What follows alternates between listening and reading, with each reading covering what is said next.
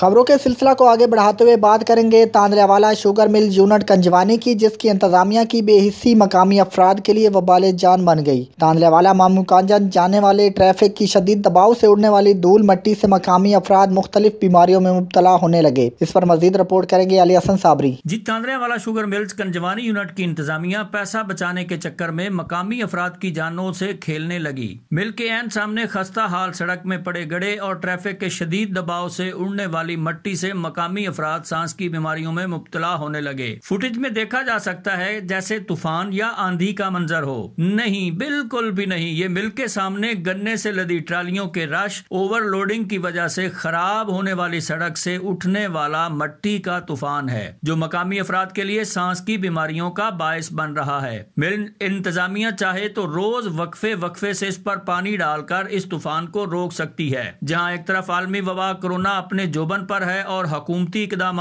इस हवाला से काबिल कद्र हैं तो दूसरी तरफ़ सांस लेने में मुश्किल पैदा करने वाली धूल मट्टी पर पानी ना डालना भी मिल इंतजामिया की कारकर्दगी पर सवालिया निशान है। मगर इंतजामिया बस माल बनाने के चक्कर में है। मिल की चिमनियों से निकलने वाले खतरनाक जहरीले धुएँ और माहौल दुश्मन बदबू के खिलाफ मजदूर किसान इतिहाद पाकिस्तान ने अदालत से भी रुजू कर रखा है। मगर मिल इंतजामिया टस से मस नहीं हुई। मकामी अफराद का अरबाब इख्तियार से नोटिस लेने का मुतालबा।